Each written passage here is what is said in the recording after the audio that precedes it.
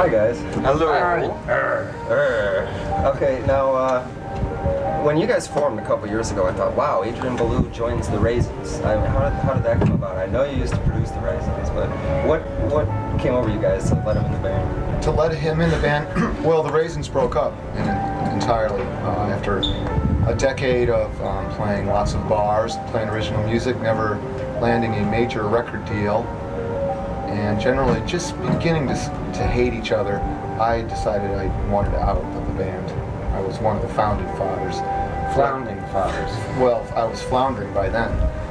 And I told my good friend Adrian that I didn't want to be a Raisin anymore. Please don't produce any more Raisin albums. Uh-huh. Adrian countered that with, well, let's start a new band and do this one right. I countered that with, okay. Thus, the birth of the Bears. Is that how it went? You also said, well, what about Bob? Well, I said, what and I said, Bob? well, I'd like to play with Bob. How about you? Are you tired of him yet? After 12 years of playing together.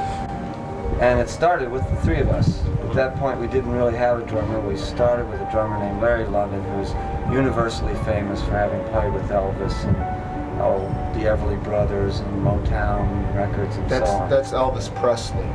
Yeah, not a, not all the other The King. Elvises. The The King. King. But Larry uh, didn't, uh, wasn't really able to tour with us. And so after months and months of the three of us writing songs together, we said, man, this is exciting. Let's go play this music somewhere. We need a drummer.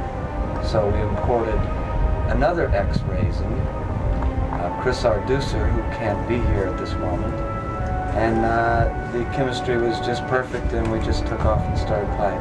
Right. Now, for you personally, you played with a lot of different people, sort of like as an import in their bands. Was this a big change for you to come in and be a member of a band for, for an extended period No, not really. I had just finished uh, three years of being a member of King Crimson.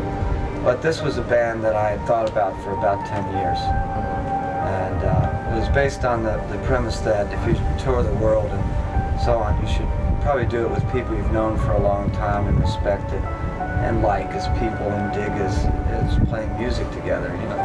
oh, shucks. That's funny. So we just couldn't help ourselves. Plus, we were looking for good restaurants all over the United States. Yeah, food is our main interest. Yeah, I understand you- care about promoting records.